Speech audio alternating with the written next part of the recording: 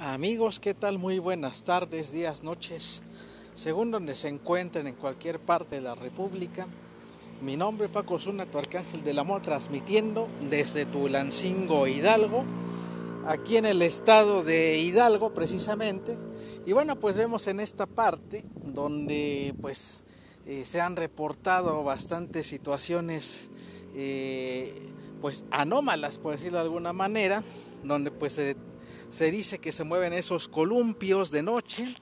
Y bueno, pues aquí estamos reportando para todos ustedes desde Tulancingo, Hidalgo. Eh, bueno, pues han encontrado gatos disecados, se han, eh, bueno, pues se mueven estos columpios y se han visto figuras eh, de como sombras, fantasmas y se oye el clásico nahual como un rugido que se escucha en las noches precisamente en esta zona, en este parque también, pues han encontrado gatos así como sin rastros de, que hayan sido mordidos, mas sin embargo no tienen gota de sangre, están drenados.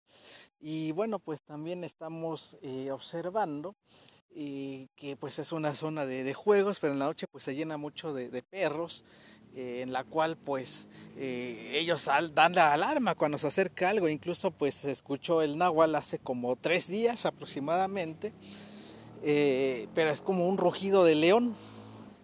Y bueno, pues los perros empiezan a ladrar. Y pues aquí estamos reportando para todos ustedes, aquí de parte de Frecuencia Antares Radio, conexión más allá de tus sentidos. Mi nombre es Paco Zuna, tu arcángel del amor. Y pues estamos eh, reportando para todos ustedes aquí un clima frío totalmente, eh, parece refrigerador. Pero bueno, aquí estamos haciendo la investigación correspondiente. Nos vemos, que pasen buenas tardes, días, noches, según donde se encuentren. Hasta pronto.